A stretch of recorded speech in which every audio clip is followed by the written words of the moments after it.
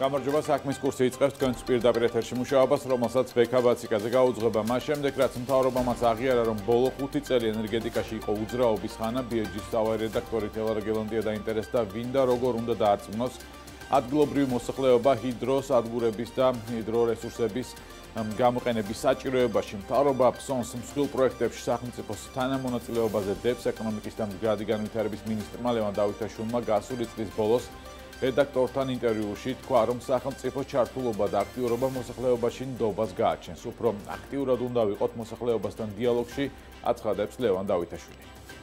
უფრო მერტი რამ რაც უნდა თქვათ არის ის, რომ ერთ-ერთი მნიშვნელოვანი როლი რაც სახელმწიფოს მონაწილეობას გააჩნია ის, რომ ჩვენ უფრო აქტიურად უნდა ვიყოთ მოსახლეობასთან დიალოგში, ჩვენ უფრო მეტი გვევალება და ამ ვალდებულებას ძალიან ღიად საჯაროდ ვაფიქსირებთ დიალოგის და კომუნიკაციის ჩვენს მოსახლეობასთან. და ასევე უნდა იყოს სპეციფიურ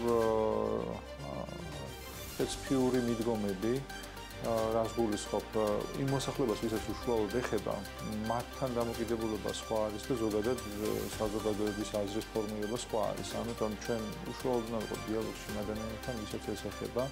ვფიქრობ რომ პროექტის თუ თუ ეს პროექტი ესა თუ ის პროექტი ეს იქნება ენერგეტიკული თუ ნებისმიერი ეკონომიკური პროექტი რომელიც მოსახლეობის აა ყოველდღიურ ცხოვრებაზე აისახება შესაბამისად ნეგატიურად პირობითად. მაშინ რაღაც გარკვეულწილად უნდა კომპენსირდებოდეს.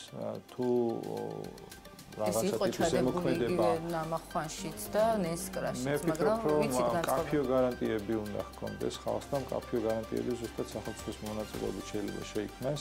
შე შემთხვევაში ნდობაც პრობლემა ახოლმე და აქედან გამომდინარე, ვფიქრობ, რომ სახელმწიფოს აქტიური მონაწილეობით ეს ნდობა შეგვიძლია შევქმნათ მოსახლეობასთან. მათ უნდა ჰქონდეთ განცდა, რომ ეს არის მათი პროექტი და განცდა კი არა, ეს რეალურად ასე იქნება, რომ ეს არის პროექტი საქართველოს მოსახლეობის, ეს არის ქართული პროექტი და ამავე დროს იმ მოსახლეობისთვის ეს არის განსაკუთრებული კონკრეტული ეკონომიკური, სოციალური სიკეთეების მომტანი. კერძო სექტორში კვლავ კადრების დეფიციტია და ეს პროცესი სავარაუდოდ წელსაც გაგრძელდება. ბიზნესის ნაწილი აღნიშნავს, რომ პრობლემა გაიაზრა, ხელფასები გაზარდა, თუმცა კვალიფიციურ მუშახელს მაინც ვერ პოულობს. რა არის გამოსავალი და როგორ უნდა ჩაერთოს ხელისუფლება პროცესში? ჩვენი რეპორტიორი მუშაობს თემაზე დეტალებს მომდენო გამოშვებებში შემოგთავაზებთ.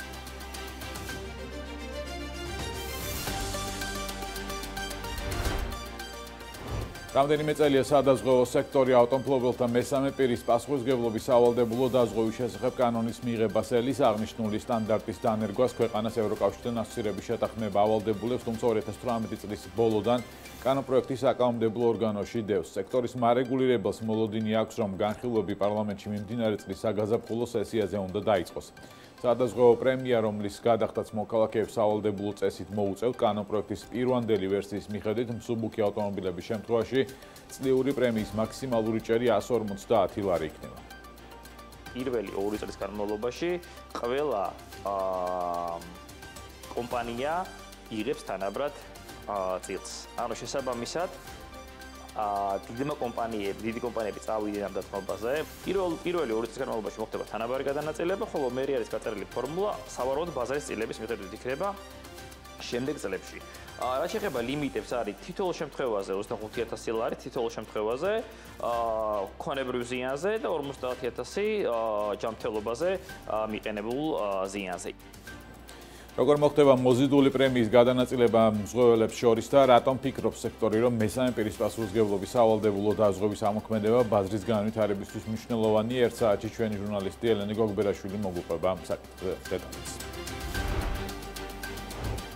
ტერაბანკი 41000 ლარი დაჯარიმდა ეროვნული ბანკის მონაცემებით ხუთ შემთხვევაში. ბანკის მხრიდან დაირღვა დადგენილი მოთხოვნები. მათ შორის იყო მოთხოვნილი ინფორმაციის სებისთვის არასწორად წარდგენის 4 შემთხვევა. ერთ კლიენტთან მიმართებით ბანკმა არ მოახდინა კონების და ფულადის აღსრების წარმომავლობის შესწავლა. ერთ კლიენტთან მიმართებით არ განახორციელა კანონმდებლობის შესაბამისად ინფორმაციის განახლება. ორ კლიენტთან მიმართებით არ განახორციელა რისკ ფაქტორების გათვალისწინებით რისკის მინიჭება. ერთ შემთხვევაში კი მოხდა ასევე არასწორი ინფორმაციის წარდგენა.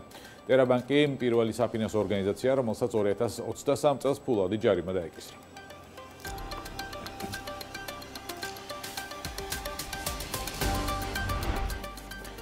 შემდეგი სიახლე ჯარიმებს და ბანკებს ეხება. ამჯერად რა მოცულობის ჯარიმები დაეკისრათ მათ 2022 წელს შეტარებული შემოწმებისას. სები გასულ წელს სულ 7 კომერციულ ბანკს სებმა დააკისრა 7 კომერციულ ბანკს ჯარიმა.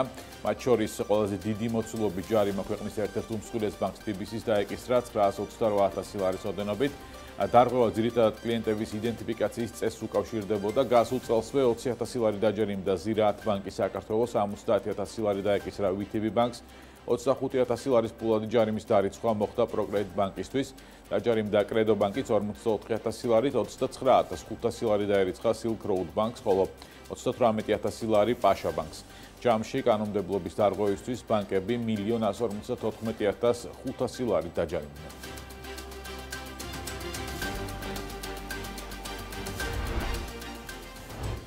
ახალი რეგულაცია საფინანსო სექტორისთვის 2023 წლის 1 აპრილიდან ფინანსური ორგანიზაციებს მომხმარებელთა უფლებების დაცვის კუთხით ახალი მოთხოვნების დაკმაყოფილება მოუწევთ ეროვნული ბანკის პრეზიდენტის ბრძანებით საფინანსო პროდუქტების კომბინირებულად შეთავაზებისას.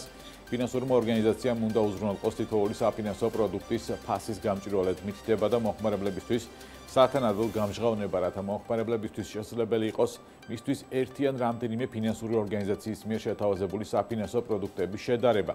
რა ტიპის საფინანსო პროდუქტებზე გავრცელდება ახალი მოთხოვნა და რა შემთხვევაში შეიძლება დაიშოს გამონაკლისი, როგორ ასრულებენ საფინანსო ორგანიზაციები მომხმარებელთა უფლებების დაცვის კუთხით დაწესებულ მოთხოვნებს და რაზე უჩიოდნენ მომხმარებლები გასულ წელს ბანკებს თუ მიკროსაფინანსო ორგანიზაციებს. ათია ჭყონი ეროვნული ბანკის მომხმარებელთა უფლებების დაცვის განყოფილების უფროსი იქნება ჩვენი სტომარი 15 საათს 20 წუთს.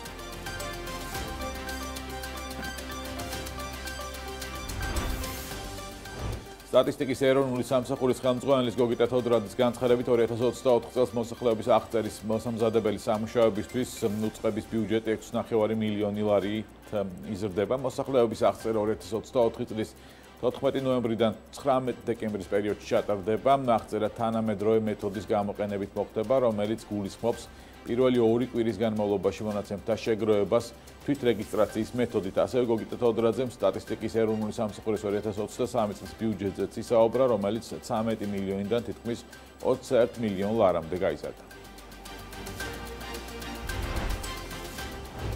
საქართველოში ავეჯის წარმოება იზრდება კალთინ თაგარტის მონაცემით 2017-21 წლებში ავეჯის სექტორში ადგილობრივი წარმოების წილი 22.1-დან 27%-მდე გაიზარდა. 2021 წელს ავეჯის ბაზრის ზომა 295 მილიონი დოლარი იყო აქედან 79.9 მილიონი ადგილობრივ წარმოებაზე მოდის წარმოების ზრდასთან ერთად ავეჯის ფასებით მზარდია რაც საინვესტიციო ბანკის შეფასებით ხეთყის პროდუქციის ფასების ზრდით აიხსნება რაც შეეხება პროდუქციის ღირებულებას წინა წელთან შედარებით ფასი საშუალოდ 20-30%-აა გაზრდილი. გაზრდილია, იმიტომ რომ გარიავეჯიდან დავიწყეთ, მარტო გარიავეჯი ქონდა და დღეს დღეისობით ანუ სახლისთვის გვაქვს ფაქტურად ყველაფერი. შესაძლებელია, რომ ადამიანმა ახალ გარემონტებს როგორც სახლისთვის, ასევე სასტუმროებისთვის, იმიტომ რომ ჩვენთან აქვე ვამზადებთ ადგილობრივად, ასევე შესაძლებელია შეკვეთა. მიუხედავად იმისა, რომ ნედლეული, რასაც ჩვენ ვკიდულობთ, ხე იქნება, მასალა იქნება, ქსოვილი იქნება, გრუბელი იქნება, ყველაფერი ძვირდება, მაგრამ ყველანაირად ვთქვით, რომ ძალიან ბიუჯეტური ანუ მარჟა კონდეს მინიმალური, რომ მოხარებლისთვის იყოს ძალიან კომფორტული და ხელმისაწვდომი თქვა იმპორტულ ავიშთან განსხვავებით.